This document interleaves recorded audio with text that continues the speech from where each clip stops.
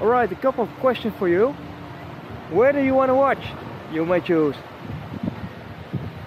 The green one is called a booster bike. The wooden one is called Troy